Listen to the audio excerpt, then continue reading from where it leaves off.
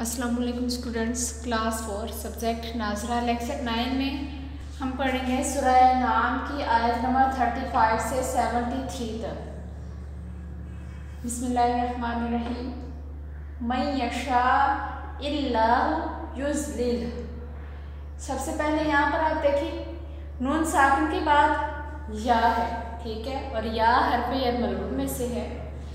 नून साकिन या नून तनवीन के बाद हरफ अरमलून में से कोई हरफ आ जाए तो वहाँ पर हम गुना करेंगे। लाम और रा पर गुना नहीं होगा, ठीक है? लाम और रा पर अगर शब्द हो तो वहाँ पर गुना नहीं करेंगे आप। या हरफ अरमलून में से है तो इधर हम गुना करेंगे। गुना कहते हैं, नाक में आवाज़ में जाने को मैं यशा अब लाम के ऊपर शब्द है, लेकिन गुना नहीं करना इधर मैं यशा अल्लाह का नाम बारीक इसलिए पढ़ रहे हैं क्योंकि इससे पहले जेर है। ये अल्लाह के नाम में जो नाम है, इससे पहले जेर है, इसलिए हम इसको बारीक पढ़ रहे हैं। युज लिल अब ये वक़फ़ की सूरत में हमने हा को साकिन कर देना, ठीक है?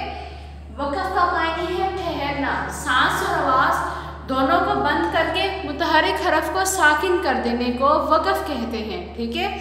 तो आपने इसको साकिन कर देना है। लास्ट में सिर्फ़ हा की आवाज़ आए, उसकी जो ऊपर हरकत होगी उसको अदा नहीं करना। युस लिल। इसगा जो है, हरफ मुस्तालिया में से है, ये मोटा पड़ा जाएगा। मैं युस लिल। लास्ट में हा की भी आवाज़ है। युस लिल। अब यहाँ पर इजहार हो रहा है। नून साकिन या नून तनवीन के बाद हरफ हल्की में से कोई हरफ आ जाए तो वहाँ पर हम गुना नहीं करेंगे। ये देखिए इधर, ये हमज़ा हरफ हल्की में से है। हमज़ा, हा, आइन, हा, गैन, खा। ये छः हरूफ हैं जो हलक से अदा होते हैं, इसलिए इनको हरूफ हल्की कहते हैं। ठीक है? मिन इलाहुन, मिन इलाहुन ये आ, इसके ऊपर खड़ी जबर है। ठीक है तो इसको आपने अलिफ के बराबर लंबा करना है नाम को मिन इलाहुन गैर मिन इलाहु गैरुल्लाही। अब अल्लाह का नाम मोटा इसलिए पढ़ रहे क्योंकि इससे पहले पेश है। ज़बर और पेश होगी तो आपने अल्लाह का नाम मोटा पढ़ना है गैरुल्लाही इस तरह से गैरुल्लाही। यहाँ पे नून साकिन के बाद जा जो है, राल ये हरफ इकफा में से है, ठीक है? राल हरफ इकफा में से है तो आपने यहाँ पर नाक में आवाज़ छुपा कर फिर गुना करना है। इसको नरम गुना कहते हैं। मुन विरीना यहाँ पर यह मद्दा और है, अलिफ के बराबर आपने लंबा करना है, और इधर वक़फ़ भी है। ये छोटा सा जीम जो आपको नज़र आ रहा है, यहाँ पर आपने वक़फ़ करना है। ये नून मुतहरिक है तो हम इसको साकिन कर देंगे। मुन, विरीन, इस तरह से। मुन, विरीन। यहाँ पे एक लाभ हो रहा है क्योंकि मीम जो है यहाँ पर इसको ये तनवीन नज़र आ रही है। आपको तनवीन के बाद है मीम। बा हरफ हरफ बा आ रहा है तो यहाँ पर मीम छोटा सा आपको नज़र आ रहा है तो हम इसको मीम से चेंज कर देंगे।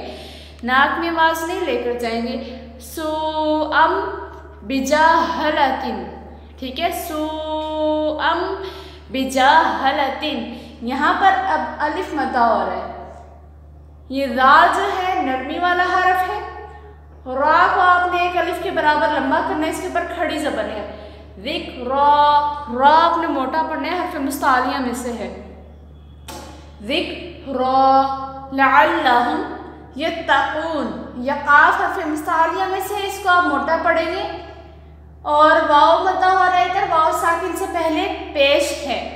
और ये छोटा सा ये जो गोल आयत जब ख़त्म हो जाती है दायरा होता है, उसमें आयत नंबर लिखा होता है तो वहाँ पर वक़फ़ करते हैं।